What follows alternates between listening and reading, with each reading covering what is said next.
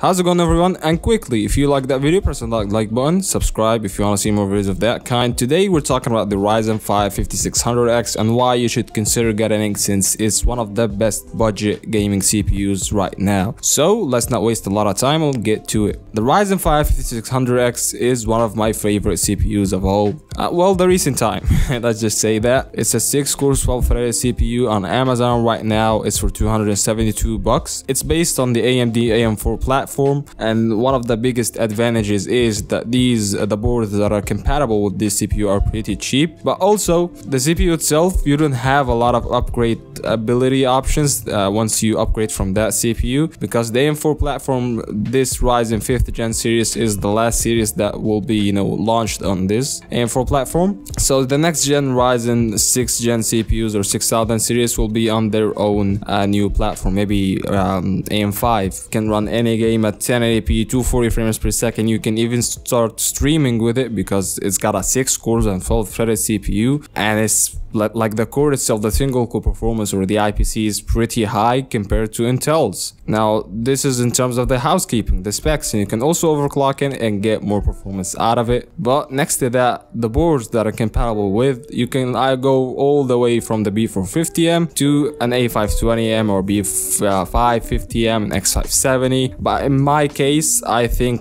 the best board combo to go with it is either a B450M DS3H, which is a board for like 60 to 65 dollars on Amazon right now since it's like the last gen series on this board you don't have to spend a lot of money on the board itself since it's the last gen CPU on this platform or you can go with the A520M since I, I mean this CPU will work just fine on these budget boards so you're paying in total like $272 and another $70 on a board which makes it like 350 bucks so yeah 350 bucks for a board and a CPU combo that's actually high-end and competing with the highest end CPUs on the market right now. And also come, it comes with its own cooler, so you don't have to pay a lot of money on a cooler because it's there with it. So it's a really good bundle for 350 bucks in my opinion. Now when you compare to the competitors, I mean the only reasonable competitor that I can find to the CPU is the i5-10400. And well the i5-10400 is not like performing on par with it, but I think is it's cheap. We're looking at $100 difference between this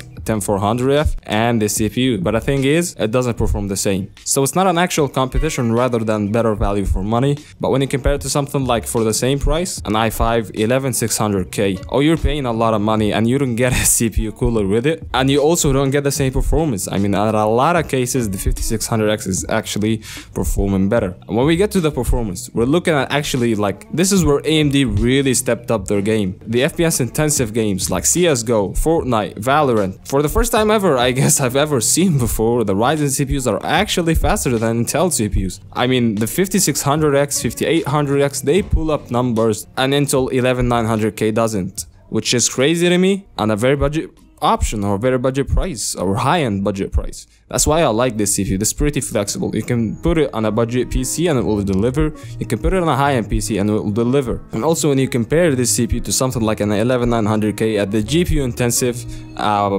games, not the FPS intensive games. I mean, again, the FPS intensive games, it beats it. Compared to something like an 11900K, I'll leave the benchmark down below. We don't look at a lot of difference. We're looking at like 7 frames per second at 1080p ultra settings. I mean, who plays at 1080p ultra settings with a GPU like an RTX 3080? Let's be honest. Maybe it's a really demanding game, but there are a lot of technologies right now that allows you to play on high resolution and get better frame rates. So yeah, this CPU is really promising in my opinion and that's why I really like it. Now the best, and as I told you, the 5600X is a really flexible CPU. If you paired it with a budget GPU, you're gonna get a lot of it, eh, like results in the FPS intensive games. If you paired it with a high-end GPU, you're gonna get some really great results in the GPU intensive games and you'll not get, be bottlenecked. Like most of the time, you'll not be bottlenecked if you play that 1080p the highest settings. Now, what's the best GPU to pair with it right now? The thing is, if you could get a GPU at MSRP, like uh, an MSRP is only like, it's not a real, real price nowadays, I don't know, but maybe an RTX 3080, 3080 Ti will be just fine with this CPU. I mean, it only sounds